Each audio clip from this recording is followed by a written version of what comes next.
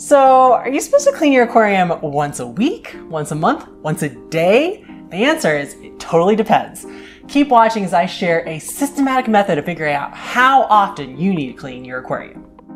Hi, my name is Irene with Aquarium Co-op, and the reason why it's so important to know when to clean your aquarium is because, well, obviously if you don't do it enough, your aquarium is gonna get very gross, your fish are living in their own waste, breathing that stuff in and out, they could potentially get very sick and pass away. However, if you clean your aquarium too much with huge water changes all the time, yeah, it's gonna look good, but the wildly swinging water parameters, the potential loss of beneficial bacteria is also super stressful for your fish and could also cause them to get sick.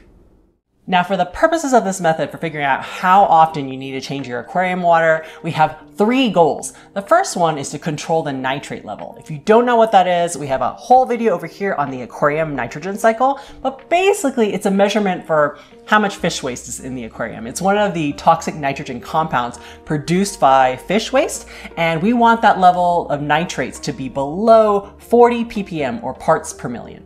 Now the second goal is the frequency. I personally prefer to not have to clean my aquarium more than once a week. Like, you know, every Saturday, that's my water changing day, and I really don't want to do it more than that. And then finally, third goal, we want to, to prevent the wildly swinging parameters I mentioned before, we want to change ideally less than 50% of the water. Really, ideally more like 25 to 30%. I'm assuming that your aquarium is already cycled, meaning that it's not brand new, it's been running for a little while, and then also you are not adding any easy green fertilizer or other fertilizers that would artificially change that nitrate level. The only thing going in the tank is fish food, which turns into fish waste. All right, for this method, you're gonna need a few materials. Make sure you have a water test kit that measures nitrates, as well as a logbook of some sort. A lot of people just use a piece of paper to write down the level of nitrates each week. I personally use like a Microsoft Excel spreadsheet so I can take other notes as well. And then you want your regular tank cleaning maintenance equipment.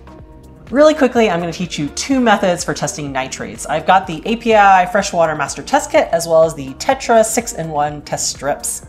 For the API water test kit, they're gonna give you a couple of bottles as well as a test tube. So go ahead and fill up that test tube to the five milliliter line. Then bottle one over here, you're gonna add 10 drops to it and then put the cap on and then gently invert it a few times. Then you're gonna take bottle number two and shake it for 30 seconds. Go ahead and also add 10 drops to your test tube. Put the cap back on and then shake it for one minute and then let it rest afterwards for five minutes and then afterwards compare the color of the liquid to the chart, and ideally we want it below 40 ppm, the red block. The other method is to use the Tetra 6-in-1 strips, which as you can see, I cut mine in half so I can use twice as many. And you go ahead and dip it into the water for one second, take it out of the water without shaking off the droplets and leave it flat for 30 to 60 seconds. After the colors develop, then you can use the sheet of paper that's on the label to compare what the measurement is.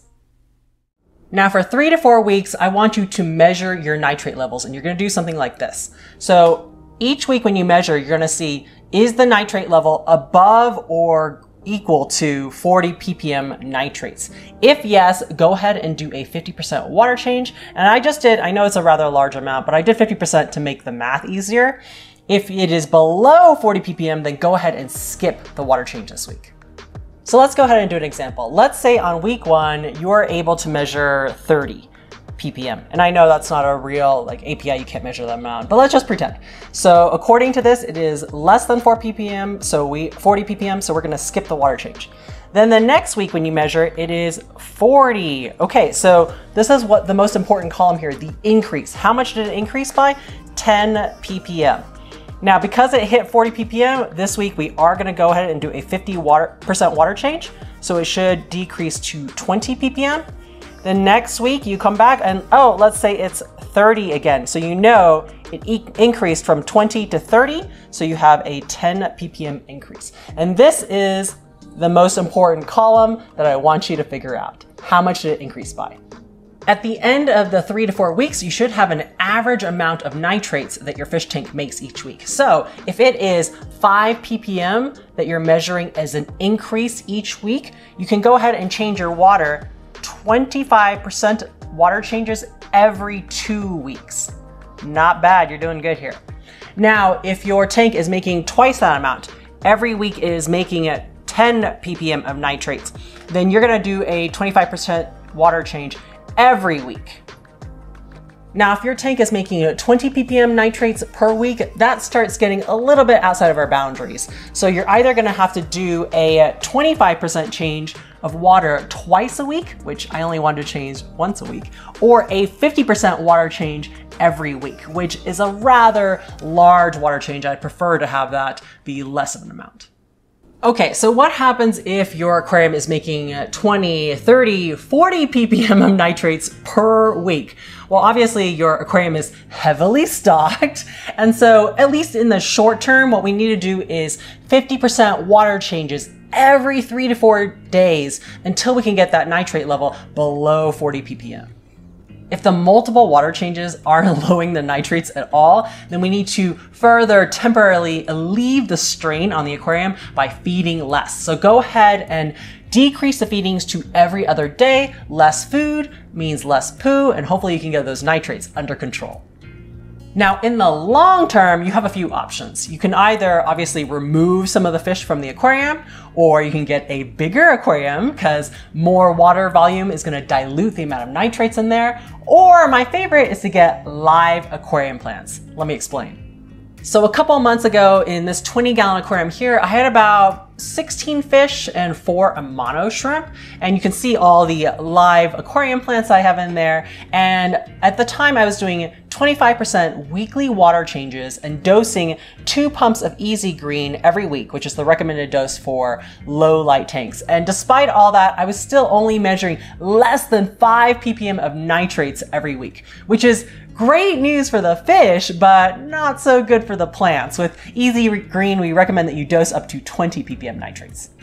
So at this point, I had a few options. I could either decrease the number of water changes I was doing to every two or three weeks. I could increase the amount of Easy Green I was adding, or in my case, I added some six juvenile balloon mollies, which is they are hungry, hungry hippos. I'm gonna have to increase the amount of food I feed this tank, which is inevitably gonna affect my nitrate level.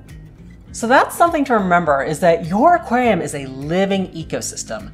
Every time you add or remove fish or plants, if your plants get bigger and they're consuming more nitrogen, or your fish get bigger and they're making more nitrogen, that's gonna all affect your nitrate levels. So put a reminder in your calendar or in your phone that at least once a month, you want to remeasure those nitrates just to make sure everything's on track, because otherwise you may find that those nitrate levels are suddenly skyrocketing or plummeting without you knowing. If you want a simplified version of everything I just talked about, I will put a link in the description for a free infographic you can download that helps you figure out how often to do water changes. Best of luck with your aquariums, and I'll see you next time!